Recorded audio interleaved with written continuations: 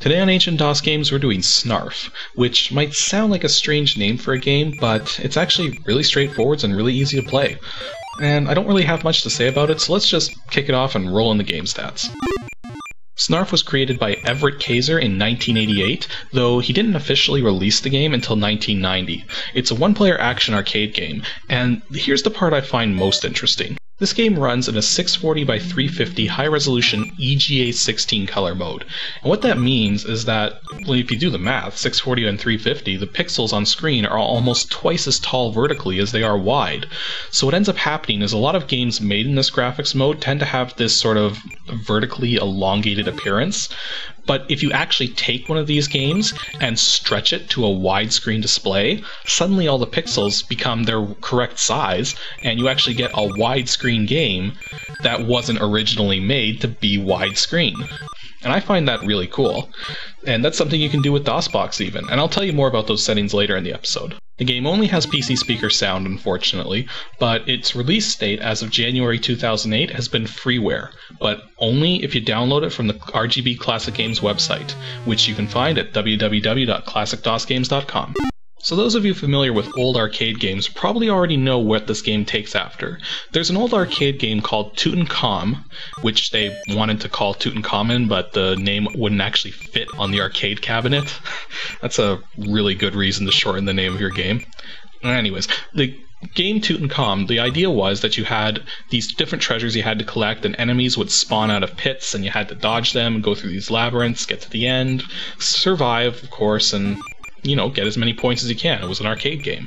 And this game is pretty much the same kind of thing, except unlike Tutankham, you can actually fire up and down as well as side to side. Yeah, in the original arcade game Tutankham, you could only fire left and right, you couldn't fire up and down.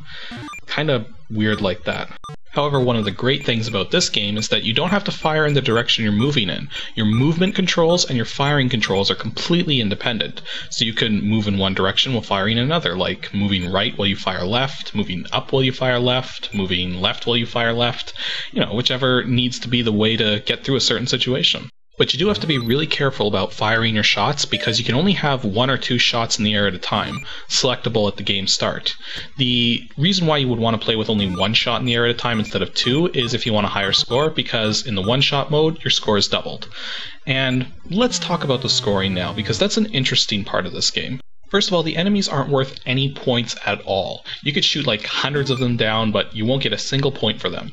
All the points are in the treasure, which you can get the blue rings, which are worth one point, the red rings, which are worth five, the green rings, which are worth 10, or the crowns, which are worth a 100 points. And then at the end of the level, the number of tags you have left multiply in to the amount of points that you collected for the level. And the tags are sort of like your hit points. If you get hit by an enemy, you lose a tag. And if you're continually hit by enemies, you can lose tags really fast. And if you run out of tags, the game's over. But since the tags are part of your scoring, this means that sometimes actually getting hit just once by an enemy can cost you more points than trying to get a really hard to get treasure if you're only getting like like a few rings or something. So that makes it really interesting in deciding how to go through a level, whether you risk going for a treasure or save your tags so that you don't lose all those points at the end of the level. The Snarfs are no pushovers either. They are not stupid and they will dodge your attacks when you shoot at them. Plus, they will just run around, get as close to you as possible, taking paths to get in it close and get around you it's really hard to get away from these guys sometimes, and they move at the same speed you do. So that's why it's best to take them out only if you absolutely have to. Under all other circumstances, run away from them.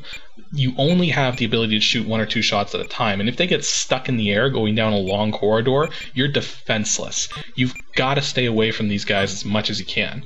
If you do get trapped by them, then try and make it so that they have to go down a very narrow path where you can just shoot a shot and it only takes like a split second to hit a wall. That way you can just rapidly fire them and the snarf should run right into your fire. Beyond killing snarfs and collecting treasure, though, you also have to worry about a couple other elements on the board. First of all, there's the teleporters. And the teleporters are kind of evil. You go through one teleporter and you end up somewhere else on the board, not necessarily from another teleporter. And you'll find this happens in a lot of the later levels where the teleporters are all over the place and none of them teleport you where you think they're going to.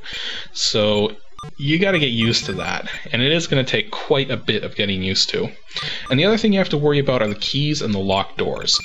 You can only carry one key at a time for some mysterious reason. Maybe the keys are like radioactive and you can't carry too many, or maybe they're really heavy, so you have to like drag it around or something.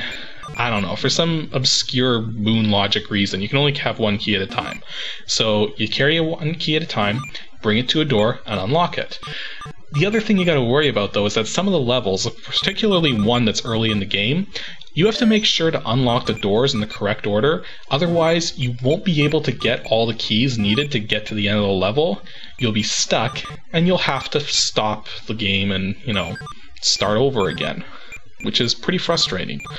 That's why when you actually start a level, the whole level fills the screen and nothing happens until you start moving. So just take a moment at the start of the level to look over the level, make sure you know where all the keys are, which order you should unlock the doors in, and then get yourself started with it. Now, there's 51 levels in the game, and even though you can start the game at any point so that you don't have to get through certain levels, you might get bored of those levels, and if you do, you can always just make your own. If you're in the middle of gameplay, you can push the F1 key, and that brings up a level editor. And the level editor is extremely easy to use. All you gotta do is just use the arrow keys to move a cursor around the screen, and then various buttons on the keyboard will place certain kinds of objects. And the interesting thing is that even though it edits the level that you were currently on when you push F1, it won't automatically save it overwriting the original level. It will actually let you save completely new levels so that you can create your own series of levels, or if you do really want to, you can overwrite the original levels, but why would you do that? I don't know. And there's also room at the bottom where you see the name and the well, two names sort of. One name for the name of the board, and one name for the author who created the board itself. And you, there's more to it than just this, because you can also hit the F2 key to change the color of the walls, which is pretty handy. Or you can hit the F3 key and just create your own walls entirely. And that means there's plenty of variety to making the levels, so to speak. You know, it you will eventually start to run out of ideas for levels because there's only so much you can do with a game that's this simple. And that really is the only sticking point is it's a very simple game. The replay value isn't that high once you're well i guess it depends. If you're a person who likes those kind of arcade style games where you just rack up the points and try to get as high a score as possible you will enjoy this game. Otherwise you'll probably only want to try it once or twice now let's talk about getting this game running in DOSBox. Most of the default DOSBox settings are going to be fine. There's just one interesting thing. This is one of the few DOS games I know of that doesn't run properly in DOSBox if you set a fixed cycles count. The crazy thing is, it's usually the other way around. Usually using the auto setting causes problems, but here you need to set the cycles count to auto, otherwise you'll either slow the game down a considerable amount with too slow a fixed setting, or if the fixed setting is higher than necessary, it will cause the graphics to flicker horribly. So the auto setting is the way to go, so make sure cycles is set to auto. And as for the graphics filters, of course they all look good with a game like this, but here's something interesting you can do, specifically if you have a widescreen computer monitor. What you want to do is set the full screen resolution to the size of your widescreen monitor, so if you have a 1920 by 1080 monitor like me, that's what you would set it to, and then make sure your output mode is set to Direct Draw or OpenGL, because that way the screen will stretch properly. And now here's what you do with the render settings. Set the aspect correction to false, and then set the filter type to HQ3X space forced. Now, the forced is kind of necessary because DOSBox likes to make its own decisions about when to use certain filters, so the force setting forces it to use a certain filter, and this is why the direct draw and OpenGL settings are necessary for the output mode because this way, if it gets too big, it's stretched properly into the correct space. And the end result? A widescreen game made in DOS before widescreens were available for computers. Now, how cool is that?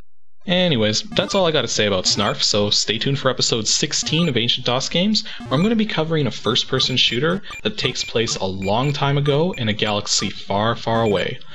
I suspect a lot of you already know what game it is, so make sure to send in your guess as soon as possible to adg at pixelships.com and stay tuned for the next episode to see if you got your name in the credits.